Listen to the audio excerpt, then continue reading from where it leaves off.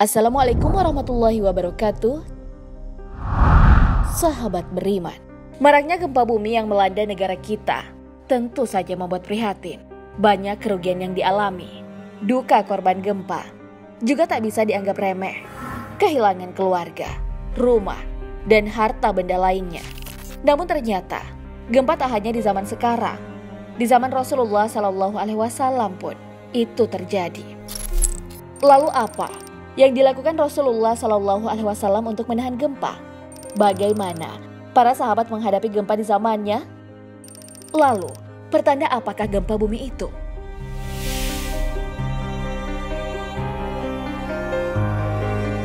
Tonton video ini hingga akhir agar tidak sesat. Bagaimana Rasulullah Shallallahu Alaihi Wasallam menahan gempa? Maraknya terjadi gempa tidak hanya menyisakan kesedihan, tapi juga memberikan peringatan. Hal ini disampaikan Rasulullah Shallallahu Alaihi Wasallam saat beliau sendiri mengalami kejadian itu. Dalam kitab Al-Da'ah wa Al-Dawa'ah, beliau pernah menenangkan bumi saat terjadi guncangan. Apa yang beliau bisikan kepada bumi? Bumi pernah berguncang pada masa Rasulullah Shallallahu Alaihi Wasallam. Beliau meletakkan tangannya di atas bumi dan bersabda, Tenanglah, belum tiba saatnya bagimu.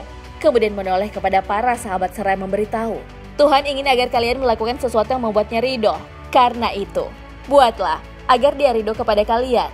Hadis riwayat Abi Adunya.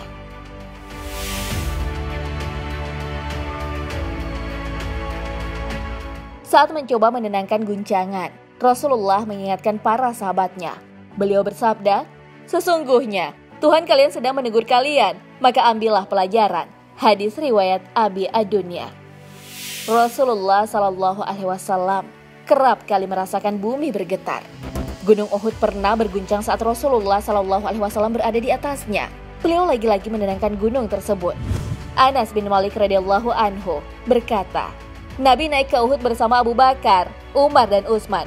Tiba-tiba gunung berguncang.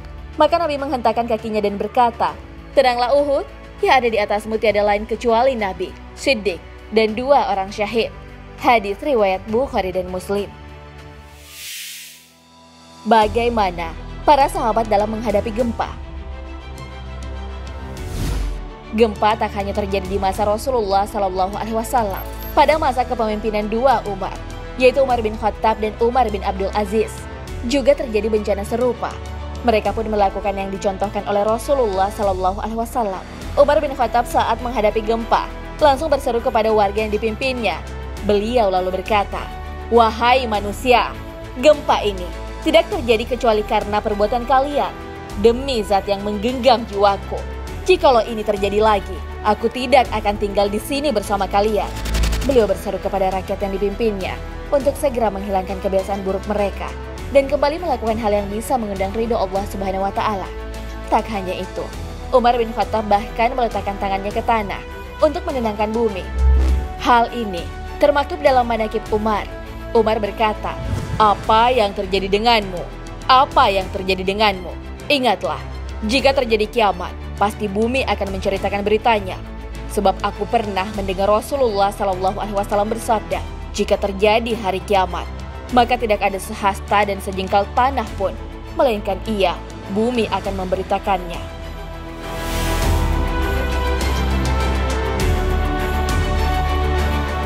Gempa kemudian terjadi lagi saat kepemimpinan Umar bin Abdul Aziz. Saat itu, beliau adalah khalifah dinasti Umayyah. Beliau lalu berseru kepada orang-orang yang dipimpinnya agar memohon ampun kepada Allah Subhanahu wa taala. Kemudian, beliau mengirimkan perintah lewat surat kepada setiap wali negeri untuk melakukan sedekah. Lalu, benarkah gempa itu sebagai asap? Imam Ibnu Qayyim dalam kitab Al-Jawab Al-Kafi menjelaskan bahwa Allah menggetarkan bumi dengan guncangan yang dahsyat untuk menimbulkan rasa takut, khusyuk, rasa ingin kembali dan tunduk kepada Allah, serta meninggalkan kemaksiatan dan penyesalan atas kekeliruan manusia.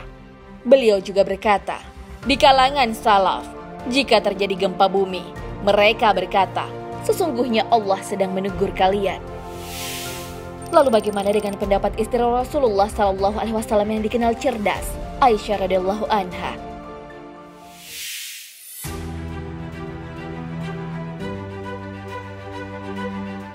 Dalam kitab Al-Jawab Al-Kafi, terdapat pendapat beliau mengenai gempa Suatu saat Anas bin Malik bersama seseorang lainnya mendatangi Aisyah. Orang yang bersama Anas itu bertanya kepada Aisyah, Wahai Ummul Mukminin, jelaskan kepadaku tentang gempa. Aisyah menjelaskan, jika mereka telah menghalalkan zina, meminum khamar, dan memainkan musik, Allah Azza wa Jalla murka di langitnya dan berfirman kepada bumi, guncanglah mereka. Jika mereka taubat dan meninggalkan dosa, atau jika tidak, dia akan menghancurkan mereka. Aisyah radhiallahu anha kembali mendapat pertanyaan mengenai apakah gempa itu adalah bentuk azab atau bukan. Lalu beliau berkata, itu adalah nasihat dan rahmat bagi mukminin dan azab serta kemurkaan bagi kafirin.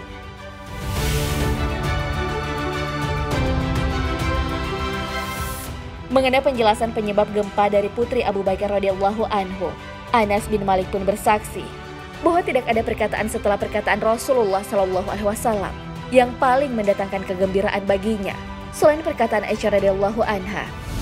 Dalam hal gempa yang terjadi, tentu juga harus melihat faktor alam yang menyebabkannya. Kemudian, mencari solusinya agar mampu menanggulanginya. Yang penting juga adalah membantu orang-orang yang terdampak gempa tersebut. Jangan sampai hanya fokus pada gempa sebagai azab atau bukan. Padahal bisa saja orang-orang yang menjadi korban tersebut adalah syahid. Hal ini sebagaimana hadis Rasulullah Shallallahu Alaihi Wasallam. Para syahid itu ada lima, yaitu orang yang meninggal karena wabah atau do'ud, orang yang meninggal karena penyakit perut, orang yang meninggal tenggelam, orang yang meninggal karena tertimpa reruntuhan, dan orang yang gugur di jalan Allah. Hadis riwayat Bukhari dan Muslim.